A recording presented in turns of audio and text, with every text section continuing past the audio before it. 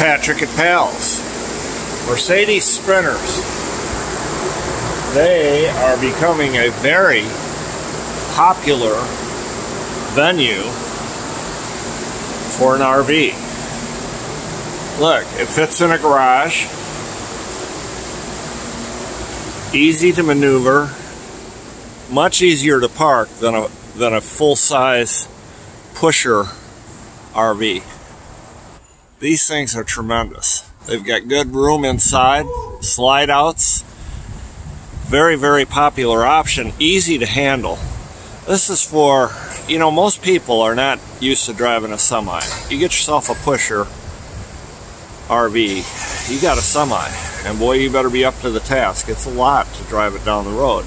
These sprinters are not much more than a regular cargo sprinter. You know, they've got a little bit more weight on them, a little bit more sway, but overall, they handle very well, and they're very easy to park and facilitate. This one's here for regular maintenance, oil change, fuel filters, cabin air filter, and air filter. If you've got an RV and it's a Sprinter, bring it to Pals.